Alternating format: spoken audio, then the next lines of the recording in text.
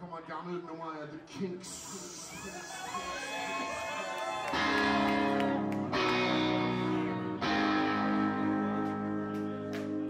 Baby, I feel good.